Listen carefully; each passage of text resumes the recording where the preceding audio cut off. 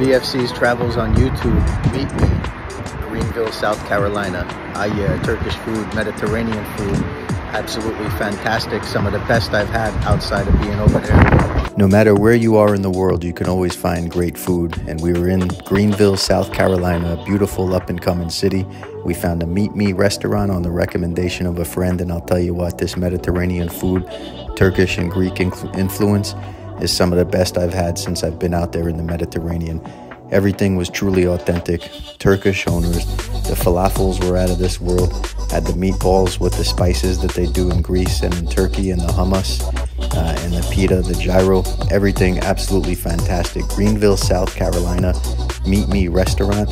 I'm telling you, the food is absolutely fantastic. The environment's terrific. Uh, you're to love it. VFC's Travels on YouTube. Follow me on YouTube and TikTok and check out my best food from around the world playlist and find the best places to eat in the places that you're going. Uh, yeah, no life like the good life. That's what I like to say.